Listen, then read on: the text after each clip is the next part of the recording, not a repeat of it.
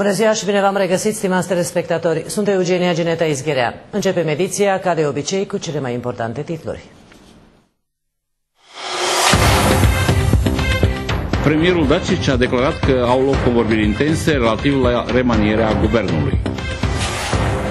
Jarko Obradovici este primul ministru care și-a înaintat demisia oficial. Cel mai bun tenisman al lumii, Novak Djokovic, s-a plasat în semifinalele turneului de la Montreal.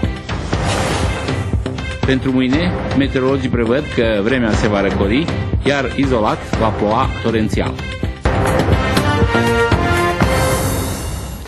Ivița Dacici, președintele Guvernului Serbiei, a declarat că este prea devreme să se discute despre numere cetățenilor străini care ar putea să fie angajați în guvernul remaniat. Premierul a apreciat că membrii noului guvern vor fi cunoscuți în următoarele 10 zile, iar procedura de formare a noului cabinet începe la 20 august curent. Președintele Guvernului Serbiei, în declarația făcută ieri cu prilejul vizite efectuate la festivalul de la Gucea, a spus printre altele că în momentul de față sunt în curs convorbiri intense vizând cele mai bune soluții pentru alcătuirea guvernului. Ivița Dacic a declarat de asemenea că între el și Alexandru Vucic, primul vicepreședinte al guvernului, nu există nedumeriri, nici relativ la locul premierului și nici când este vorba de funcția de ministru de interne. În această ordine de idei menționăm că astăzi Slavița Djukic Dejanovic, ministrul sănătății Serbiei, a apreciat că premierul Ivița Dacic ar trebui să rămână și pe mai departe la ambele funcții, deoarece rezultatele muncii acestuia dovedesc că a meritat acest lucru.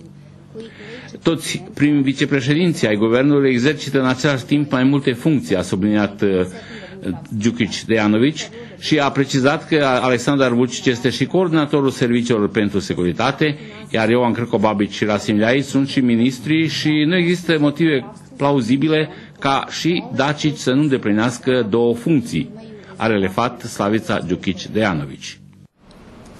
În cadrul remanierii Guvernului Serbiei, după cum s-a subliniat în ședința de ieri, Jarko Obradovic este primul ministru care a demisionat oficial, dintre miniștrii care s-a preconizat că vor fi schimbați. Jarko Obradovic, ministrul învățământului Serbiei, i-a informat pe premier și membrii guvernului că părăsește definitiv funcția și prin aceasta este primul ministru care oficial și-a înaintat demisia în cadrul remanierii guvernului, scrie astăzi cotidianul Vecerne Novosti.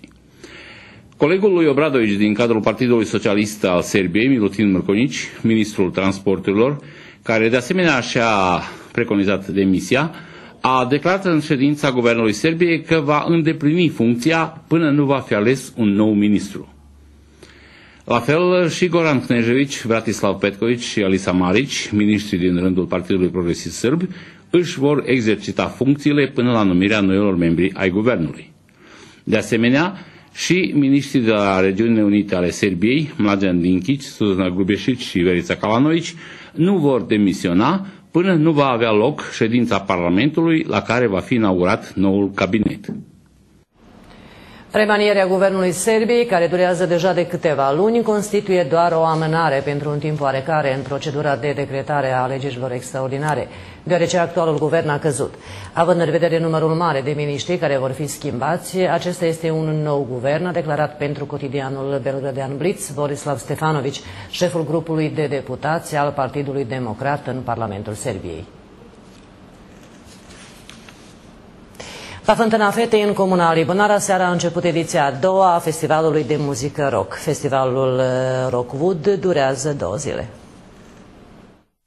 Fanii muzicii rock și anul acesta, la cea de-a doua ediție a festivalului sub genericul Rockwood, care are loc în mirific ambianță a renumitului loc de vilegiatură de la Fântâna Fetei, se vor delecta ascultând muzică rock interpretată de formații de renume de la noi din țară.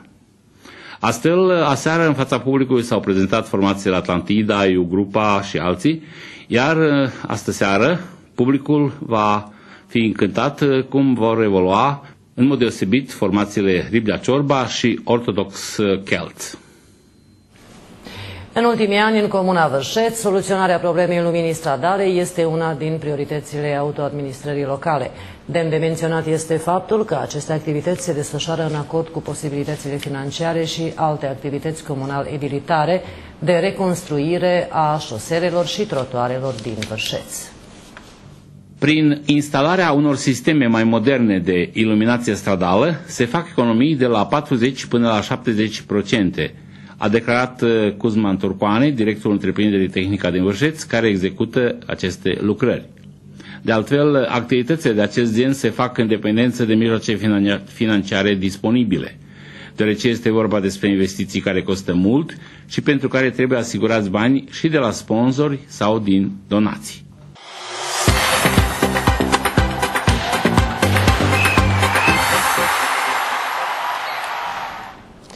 Referitor la evenimentele din satele noastre, iată o relatare din Uzdin.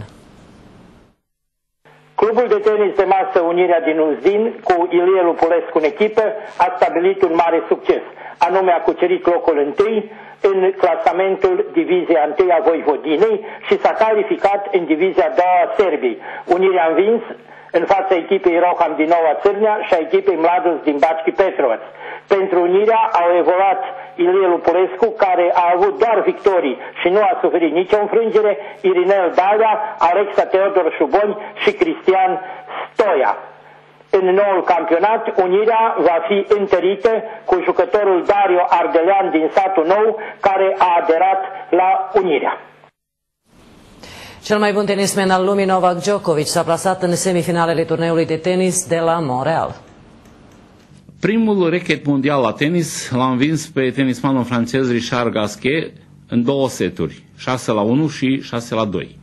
Prin aceasta, Djokovic s-a plasat în semifinalele turneului Masters, unde s-a întâlnit cu Rafael Nadal, care l-a învins pe australianul Marinko Matosevic cu 6 la 2 și 6 la 4.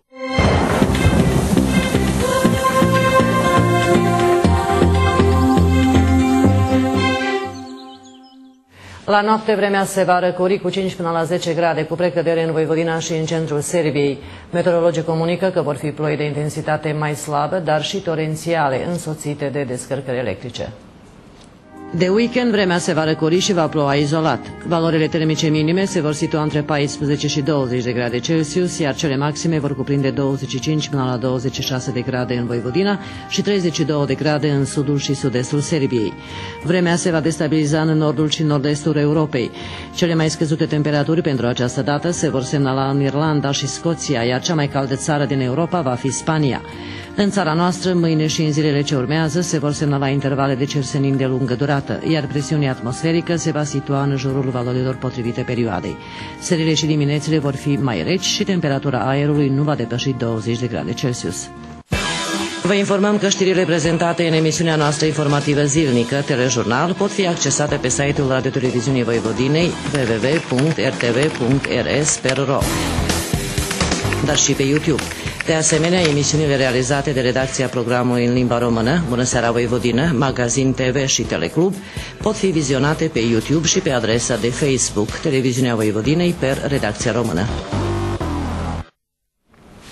Telejurnalul la final. Vă reamintim că mâine la ora 12 transmitem emisiunea Magazin TV, pentru care ziariștii noștri au pregătit mai multe reportaje realizate la Grebenaț, Smărghita, Coștei, Alibunare, etc.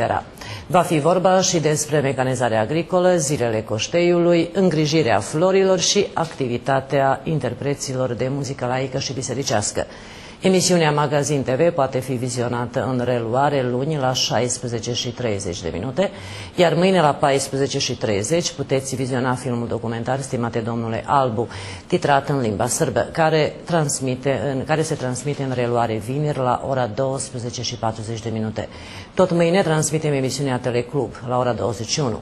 Emisiunea Teleclub se transmite în reluare luni la ora 2 și 35 de minute și la 14 și 40 de minute. Atât pentru astăzi. Mulțumesc pentru atenție. O zi bună vă doresc și toate bune. Să auzim de bine.